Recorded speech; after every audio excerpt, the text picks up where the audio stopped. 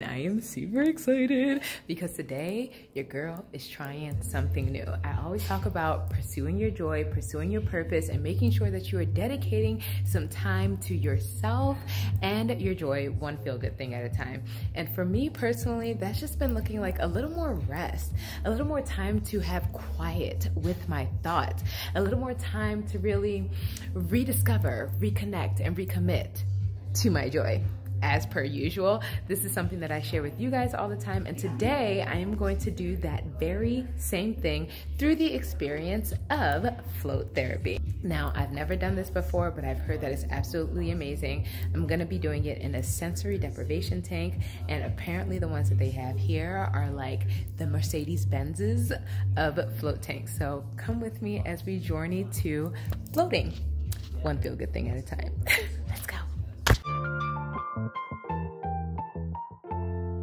When was the last time you tried something new? And no, this is not a rhetorical question, nor is it a drill. Hey, hey, hey, guys. Thanks for tuning into another episode of Journey to Purpose with me, Erica Lasan.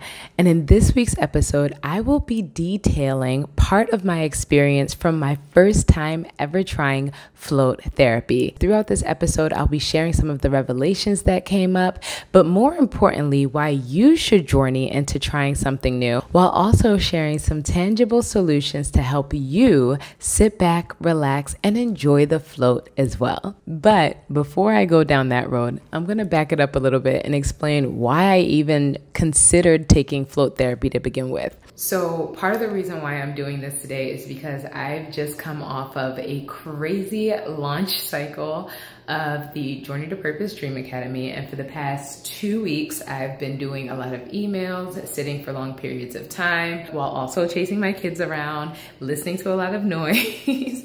and right now, all I really want is quiet. I'm also really looking forward to the experience of not really having to stand or sit. So I'm really hoping that maybe there will be some back relief because um, my back has been feeling a little tight. I didn't do my yoga and I haven't been doing it for a while. So um, overall, I'm just really looking forward to getting a good night's rest after this and um, seeing what kind of thoughts come up while I'm in the tank. The first time I ever heard about floating and float therapy or sensory deprivation was when I was watching the first season of Stranger Things on Netflix. There is a character on there, her name is Eleven. She's an alien or she was grown in a lab or something. It's kind of very intricate as to what her backstory is. But basically, she has these superpowers where she can see, feel, and communicate with people in other dimensions and in other uh, places and times. But in order for her to tap into this power of being able to access communication with other people, she has to be in a complete sense of calm so, in order to help her facilitate this, when her group of friends really needed her to tap into this power in order to save their other friend, Will, who was stuck in the upside down, I hope I'm not giving too much of this show away for those of you who are still considering watching it, they put her in a sensory deprivation tank.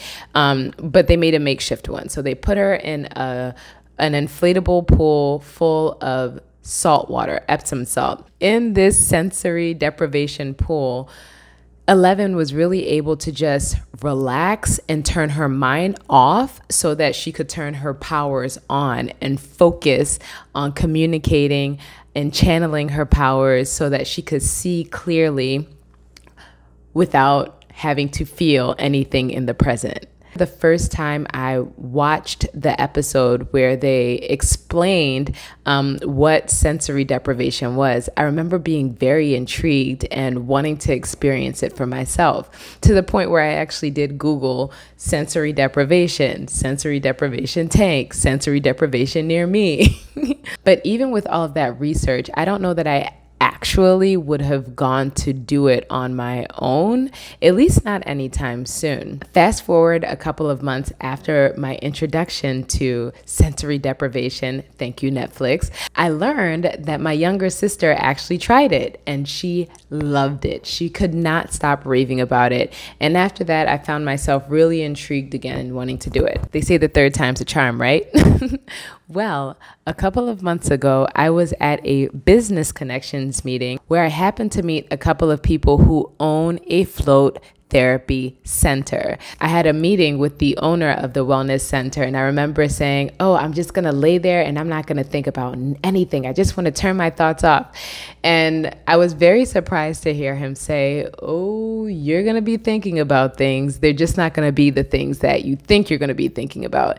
And I remember thinking, like, what do you mean by that? Okay, when I first got into the tank, my mind really did start to drift to really random things. Within the first two minutes, I found myself thinking, ugh, why am I thinking about this? Like, I don't have time to think about this. After that thought played through my mind about two or three times, ugh, I don't have time to think about this, it kind of hit me girl, you have absolutely nothing but time to think about these things. You're literally sitting here in this tank of darkness, floating with nothing but time to think.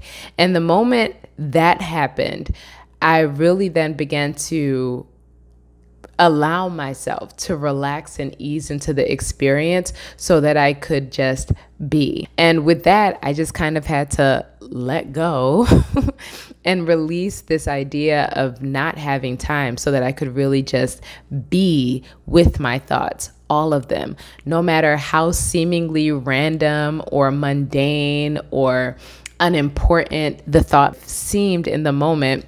I realized that it was popping up for some reason, so I should acknowledge it. I'm just going to share some of the thoughts that came to me as I floated around the tank in darkness for 90 minutes. I'm putting a little disclaimer out there. I apologize in advance if my thoughts are all over the place, but I promise to do my best to explain these thoughts in a way that is useful and beneficial to you as you journey to joy in trying something new.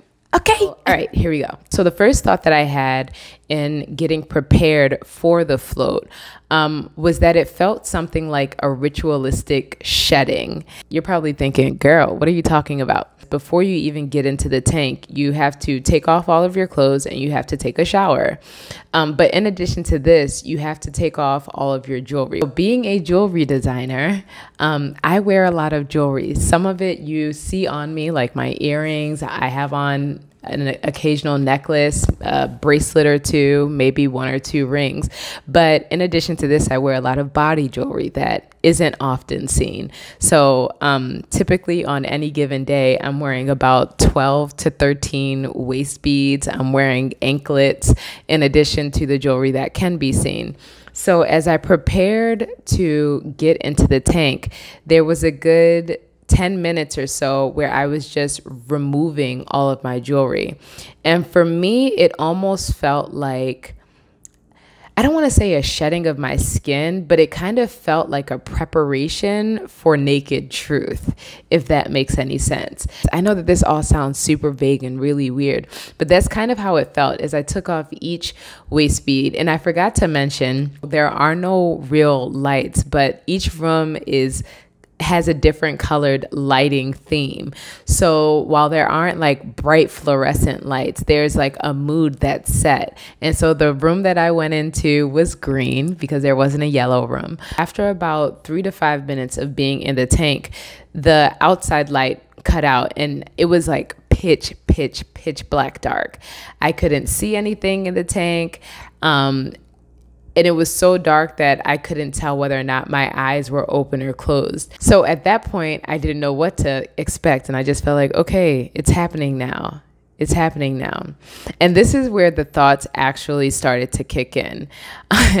and one of the first thoughts that I had, and this is probably indicative of the way I do life, but one of my first thoughts was, Am I floating right?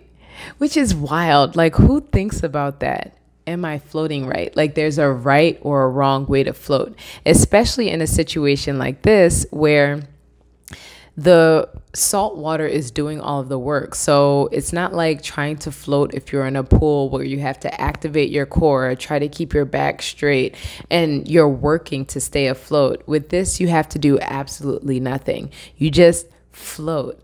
And for about the first 15 minutes, I just found myself finding it very difficult to relax. I was holding a lot of tension in my legs. I found that I was like clenching my butt cheeks a lot. I found that um, I was also holding a lot of tension in my neck. And every time I found that I was holding tension somewhere, because my mind also kept coming back to this relax, relax, relax. Every time I found myself thinking this, I had to make a conscious effort to breathe. so I would take deep breaths and then let them go. And with that, I would find myself kind of like melt into the water. And then a couple minutes later, I found myself clenching up again, and then I would have to repeat the process. After about 15 minutes of going through this process of just breathing and relaxing, breathing and relaxing, and trying to bring myself present I the thought that came to mind as an extension of that was how I show up in the world, trying to make sure that I'm doing everything right. Like if I've been taught something, how I then start find myself trying to work really hard in order to deliver certain results, but how quick and how easy it is to lose sight of your joy when you start to do that versus just breathing and being exactly who you are and how you are. Another thought that kind of piggybacked off of that one was how easy it is for us to breathe and how breathing brings instant relaxation, but how easy it can also be to just be so tense that you don't allow yourself to breathe in every area of life and in so many um, matters of life.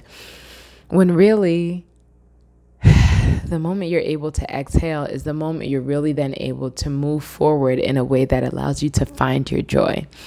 And every time I found myself taking a deep breath, it almost felt super sweet, not only because my fi- body could finally relax, but because it was almost like bringing myself back to a state of presence and being in the present.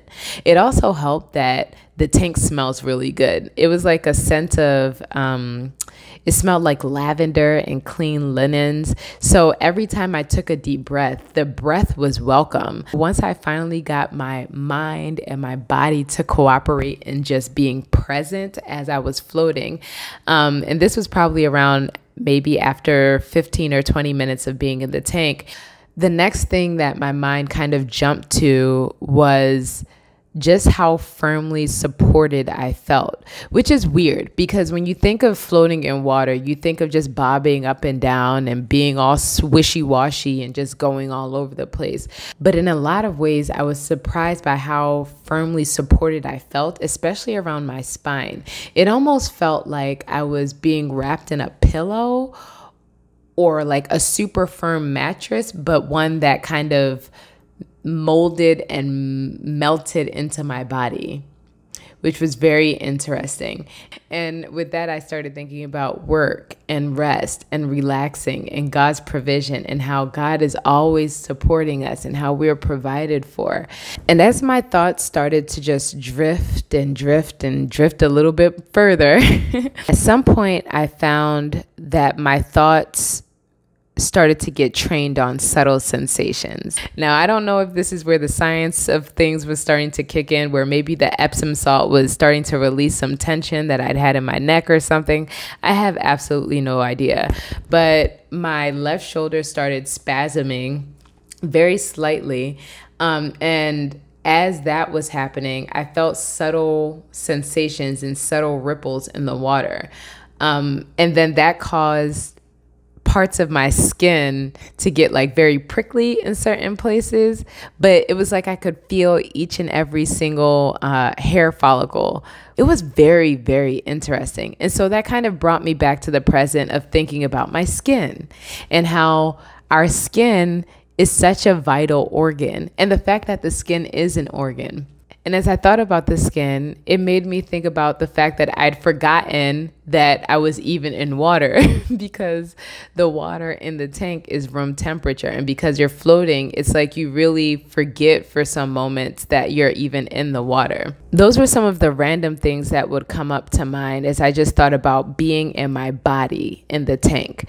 But then in my moments of total rest and relaxation in the tank, I found that my mind went to work. And as I was thinking about work, I began to think about what I really want. And as someone who is a visionary and a big part of the work that I do as a joy strategist and a creative consultant is I consider vision and what it is that my clients desire for themselves and then I help them develop the creative solutions and the systems to get there. But understand that in the same way that I think about this for my clients and what will bring them joy, purpose, and healing and what's next, I do this work for myself as well.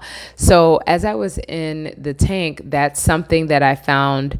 Um, that's something that came back to mind for me over and over again. What is it that I really want? How was this launch experience of the Dream Academy? Is this something that I'd want to do again? What are the thoughts for 2021? All of these thoughts were running through my mind. And I found that while I was in the tank, I kind of had a moment of, real honesty with myself um, about how I've been doing things and things that were working for me, but also some things that weren't working for me. And in a couple of ways,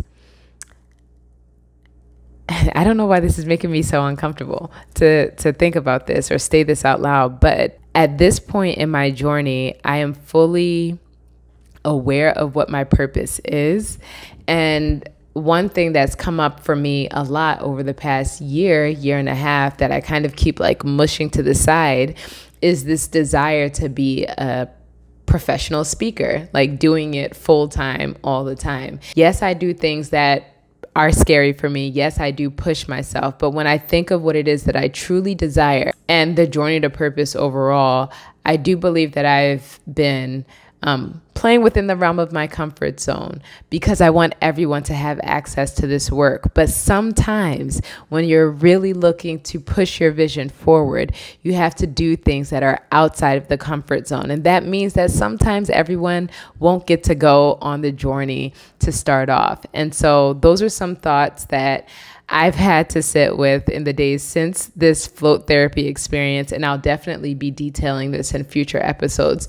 But I just found it really interesting that it took me being in a dark pool, just floating around for 90 minutes for me to really have that genuine conversation with myself about what it is that I truly desire moving forward. Even though it's outlined on my, my vision board and it's outlined within my vision, just understanding how um, I should begin to access that and what it could potentially look like. I left my float session feeling light, inspired, creative, and clear. Like, seriously, as soon as I got out of the tank, the first thing that I wanted to do was grab a notepad so I could just jot down some of these thoughts to share with you guys, but also so that I could keep in mind some of the things that I would like to prioritize and sit with a little longer going into this last um, few months of the year. With that said, I'm also going to share some things that I will be doing differently for my next float. And these might be some things that you may want to consider if you are thinking about doing a float session for yourself. The first thing that I'm going to do differently next time is use earplugs.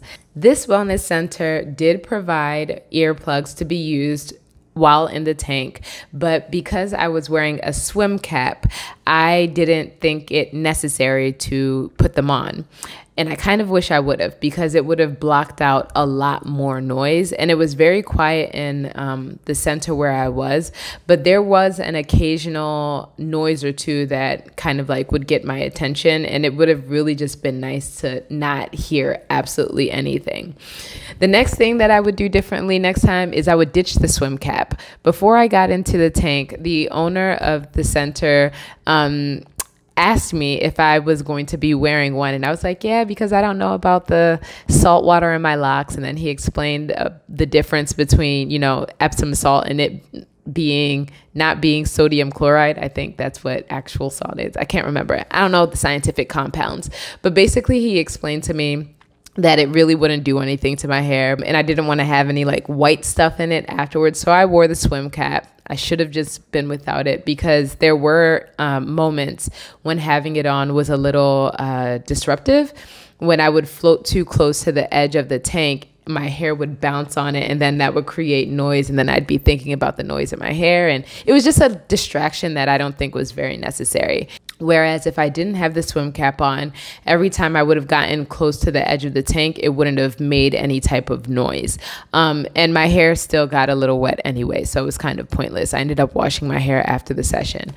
Um, the third thing I would do differently is to make sure that I eat beforehand not eating anything heavy, but for the first probably 30 minutes of the session, my, my stomach was growling because I hadn't eaten all day. But if you are listening to this podcast episode and wondering what would bring you joy or what you could try as you journey to purpose, keep listening through this brief break as I share something that can help you journey to purpose one feel good thing at a time. If you have an awareness of your need to find your joy or rediscover yourself or understand yourself better in this season of your life, I would love to invite you to visit my site, Erica lasan.com and take the Joy Quest. As you go through the Joy Quest, you'll be able to engage with a vision of what you really desire for your life to be like, feel like, look like, taste like, and all the things. But more importantly, by the end of this self paced program, and it only takes 45 minutes to an hour,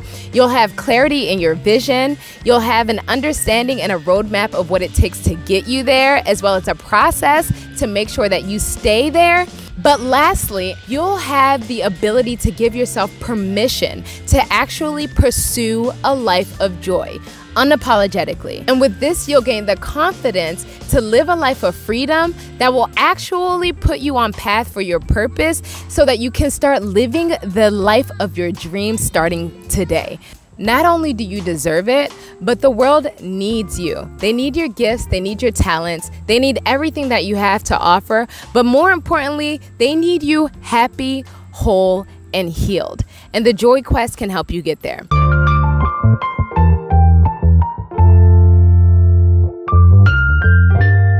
It's time for me to share this week's solutions and Joy Jams. and this week's solutions are really to help you find your joy and really highlighting what I hope you've gained from listening to this episode. And the first solution I'd like to share with you guys is to try something new. I started off this episode asking you when was the last time you tried something new? Embrace new experiences. That thing that you've always considered wanting to do, but you have yet to do, and you've been doing the research forever and ever. Put a date on your calendar to just do the thing. As a matter of fact, let's make this a challenge. Do the thing before 2021 is over. I would love it if you would send me a DM on Instagram at Erica Lasan or in the show notes or leaving a review, whatever it is, wherever it is, however it is that you wish to contact me, and let me know what your something new is that you will be doing and then the date that you plan on doing it. I can't wait to see what you come up with. The second solution that I want to share with you is to be receptive and to ditch the expectations so that you can fully engage with the thoughts and the things that come to mind. Because your expectations will leave you working. Like mentally, you'll be working or you'll be trying to make the experience what you want it to be when really it's a new experience. It could go any which way. So treat it like an adventure. The third solution I would like to share with you as it relates to finding joy in new experiences is to take note. And with this, I mean like actually take notes. Um, I shared with you that the first thing I wanted to do when I got out of the tank was to grab a notepad and jot all the things down. And the reason why it's so important to take note is because it allows you to put some things down. So you're not carrying the things that overwhelm you all the time. I find that as I work with my clients and as I speak with other entrepreneurs or students, they're carrying a literal load mentally. When if you were to just write some of the things down, you're then able to save them for a time and a place where you can appropriately dedicate time to them um, and handling them in the ways that you'd really like to. Instead of thinking that while you have the things in your mind you have to handle them right then on the spot. Sometimes it really just takes you getting things out of your mind and on paper to feel a little more freedom and mental space to be able to do more things okay I think that wraps it up for the solutions. As far as joy gems, I have two joy gems to share with you guys today. Um, and they actually came up in my devotions this morning. So I'm really excited to share. The first one coming from Lamentations 322 and it says yet this i call to mind and therefore i have hope. Because of the lord's great love we are not consumed. This verse in particular really resonated with me today because part of the reason why I personally felt so strongly about having the float therapy session to begin with was because I'd felt a bit consumed over the course of the past week and a half with the course launch. And there were some feelings that had come up for me. There were some emotions that had come up for me that I wasn't necessarily expecting. And at one point, I really found myself needing to tap into some of my own joy tools because of the feelings that um, flared up. but because of God's love and because I know, I know, I know that at all times there is always joy to be had in the journey. I was able to not be consumed by those same feelings. Um, and it's simply because of hope. you know, love brings on hope and our our joy helps us tap into that hope as well. The second joy gem I want to share with you comes from Hebrews 1 9, and it says, Therefore, God, your God, has set you above your companions by anointing you with the oil of joy. I'm sure that there's a lot to study about this one line in this one sentence, and I don't know the complete like scriptural rever- relevance of every single word that's included here. But something that did stand out to me about this verse is the fact that when you're experiencing joy, joy is an anointing. and in this passage, it speaks of joy almost like it's a blessing, and it's a blessing that's given to you by God Himself. Like, and, and and with this it's not just a blessing that anybody gets though we all have access to joy right? We all have access to god's love. Not to think of this in terms of like hierarchy or wanting to be better than anybody. I just find it really amazing that the idea of having joy can also be counted as an anointing which is really really really cool um, there's a lot more to say about that, but I don't know that I necessarily have the words or the thoughts to express them all right now. With that said, guys, we have come to the end of this week's episode, and I just want to thank you for taking the time to listen to my thoughts. I know that there were many thoughts. And if you happen to be in northern New Jersey, Bedminster to be exact, go visit my friends at Quantum Wellness and tell them Erica sent you and that you are a listener to the Journey to Purpose podcast. If you'd like to learn a little bit more about me and my journey or how the Journey to Purpose can help you, feel free to visit the site ericalasan.com. I also hope that if you are listening to this that you are subscribed to the mailing list because as we're heading into the holiday season, we are going to be talking about business, baby, how you can support small business this holiday holiday season. We're going to be talking about relationships and how to better them as you journey into the holidays and so much more. Thank you for listening, and I look forward to chatting with you again next week as we journey together, one feel good thing at a time. Bye.